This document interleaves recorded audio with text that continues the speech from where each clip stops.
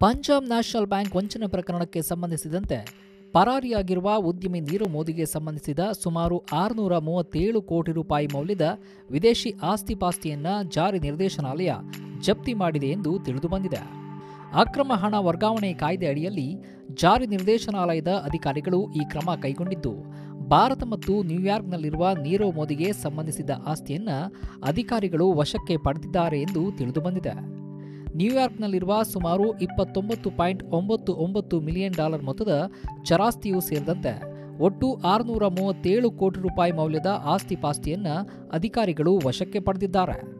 ಇದರಲ್ಲಿ ನೀರವ್ ಮೋದಿ ಸಂಸ್ಥೆಗೆ ಸೇರಿದ ಚಿನ್ನಾಭರಣಗಳು ಸೇರಿವೆ ಅಂತ ತಿಳಿದುಬಂದಿದೆ.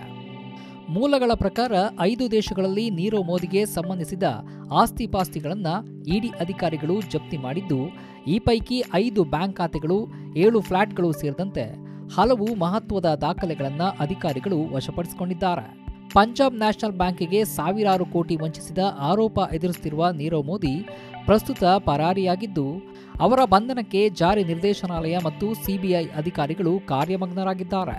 Nirav Modi Hong Kong, America, Britain, Switzerland ಸೇರಿದಂತೆ ವಿಶ್ವದ ಹಲವು ದೇಶಗಳಲ್ಲಿ ಆಸ್ತಿ ಪಾಸ್ತಿ ಹೊಂದಿದ್ದು, ಈ ಎಲ್ಲ ಆಸ್ತಿಗಳ ಮೇಲೂ ಇಡಿ ಕಣ್ಣಿಟ್ಟಿದೆ.